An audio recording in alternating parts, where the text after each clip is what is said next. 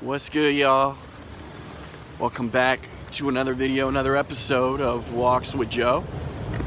So, today we're going to talk about, you know, some things I like about living in China, right? So, China gets a lot of bad press uh, from the Western media, Western YouTubers, and a lot of it I think is warranted and is true, but I think China is often made out to be, you know, hell on earth or something like that. Um, which isn't true. Then, you know, why do foreigners come here to live? If that's the case. Because it's not the case, right? Yeah, I think it, it, it can be hell on earth for certain people. Um, and we will talk about that in another video. But today I want to focus on, you know, some things that I like about living in China. I've been here over two years and I was originally only going to be here one year, but I liked it so much that I decided to extend for another year. And it's been it's been overall quite great. I mean, it's been a great experience. So we're just gonna sit right here and go over some things that I like about living in China. And these are more practical things, the practicalities, the dynamic of living in China. Um, not really so much on the cultural side of things. This is more about like actual some benefits of living in China. So the first one is drinking beer in public, man. You can drink beer in public here, and I know in some countries you can do the same, but where I'm from in the States, you can't do that. You'll get a charge. You'll get an open carry charge. Not open carry charge, that's for guns, but an open container. Uh, so you can't do it in the States, but here in China, it's no one will bat an eye if I just, you know, walked in that convenience store over there and I got a can of beer and just start walking the streets and drinking.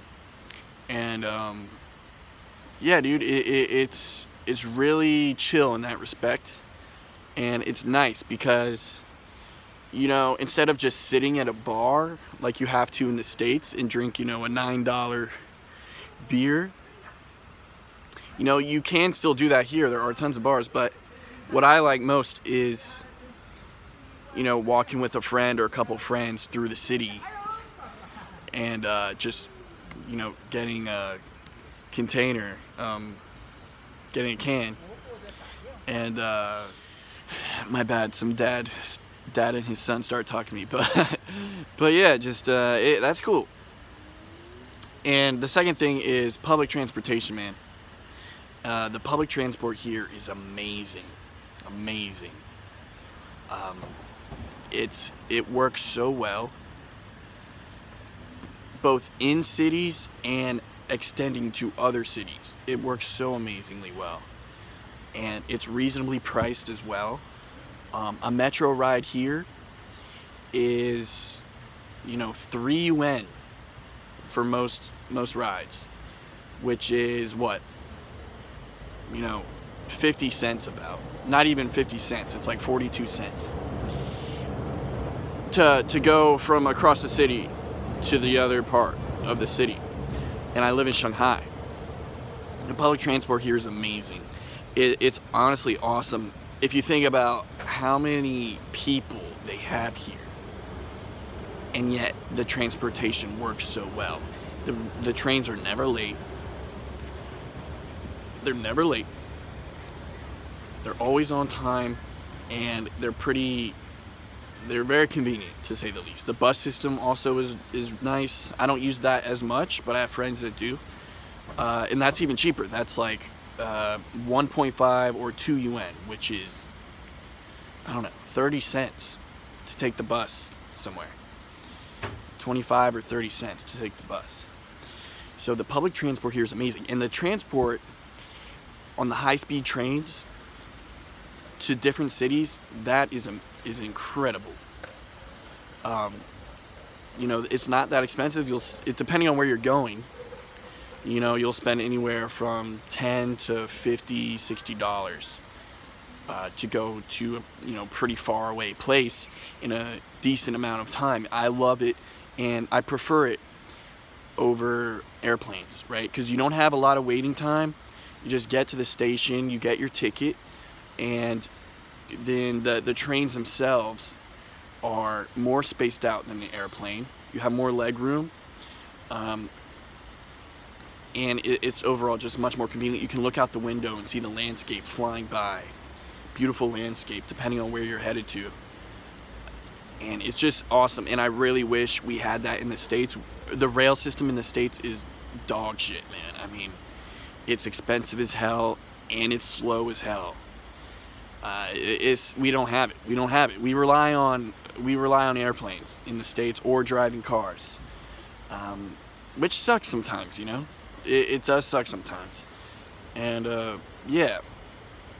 So that's number two, guys. Public transport. Three, number three is what was my number three, guys? Sorry, guys. I forgot what my number three was, but I got my notebook now. Number three is the, the cost of living here is much better than in the States. Um, so I've been here over two years, like I said, and I've noticed that the cost of living has slightly increased since when I first arrived, but it still does not compare to the States. And so I'm, the money I make here, I would be on the poverty line in the States if you equated it into dollars. But yet I'm still able to live a very comfortable life here with the money I make. I'm a single guy, so it could be different if you have a family. Um, but the, the cost of living here is quite low. Uh, and I live in Shanghai, which is probably the most expensive place to live in China. And yet it's still pretty good. Um, you know, rent here, I, I, I live in a studio and I probably pay in dollars like $480 a month. Um, so it's it's not so bad, and I'm living in the downtown as well, right? So you know I live in a good location, and I'm not paying that much money, and you know every most things here are cheaper. The food here is cheaper.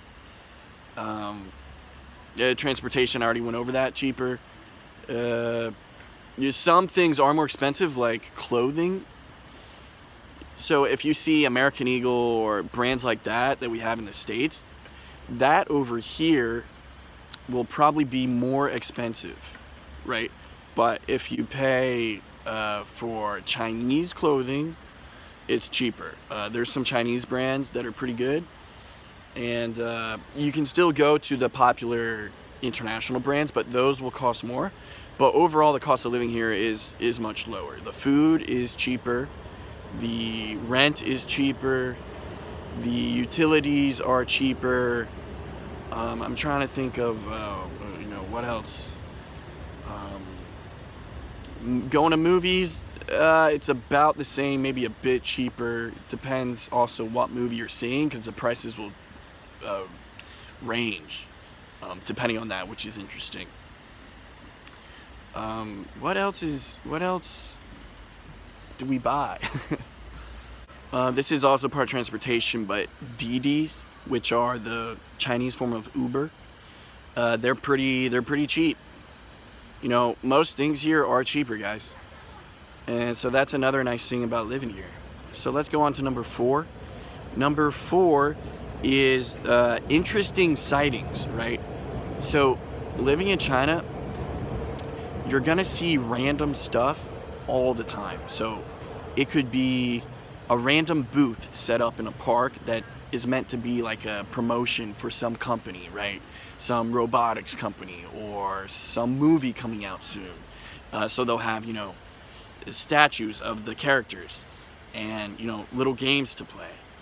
And, you know, you can go to the park and you'll see um, tons of old people dancing in the square, choreographed dancing. It's like some hobby they have and you're always seeing random stuff, random interesting stuff. Um, and it, it, one thing I like about China is like so many times you can just pause a frame, like just look at a frame of something you're looking at, and it's so detailed, right? There'll be little ads in the corner. Uh, there'll be, you know, a stray dog over in this corner.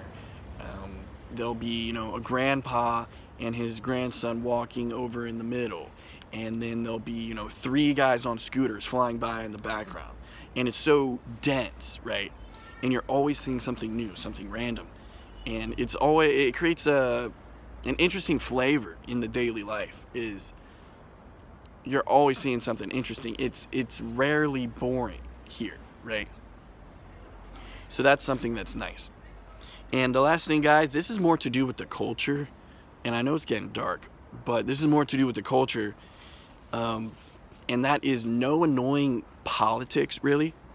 So in the states at least from where i'm from washington d.c area people are always talking about politics man either from the right or from the left. And i remember um, it would just get so annoying man it's like you couldn't escape it at your job or at school or even at the dinner table with your family. It's just like god like can you guys just stop? Like is it so part of your lives? It's like it can seem that it's all people are talking about ever and it can get really heated and polarizing right? Yeah guys i went in because it was getting dark but the people they they don't talk much about politics which can be refreshing in my opinion. Um, especially coming from the DC area, it can be really refreshing to be around that and just you know talk about other things aside from politics and you know people getting heated and polarized. Um, so that's nice, but I will say that the reasons that people don't talk about it much, uh, not all so positive or jovial, which I will talk about in a upcoming video, which I will talk about the things that I don't like about living in China. Alright? Because of course there's positives and negatives to every place. So even though I like that people don't talk about politics much, I know that the reason for it is something not so great, which I'll talk about later. But overall, guys, you know, there's a lot to like about living in China and I've loved living here so far. And um, yeah, guys, uh, I, it's I recommend at least visiting if you have the chance. I think it's worth it. So I'll talk to you guys soon. Hit that like, hit that sub if you can. Um, I'll smell y'all soon. I'll smell y'all later. Peace out.